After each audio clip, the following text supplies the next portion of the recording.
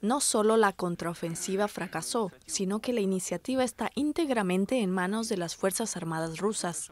Si eso continúa, la condición de Estado de Ucrania podría sufrir un golpe irreparable, un golpe grave.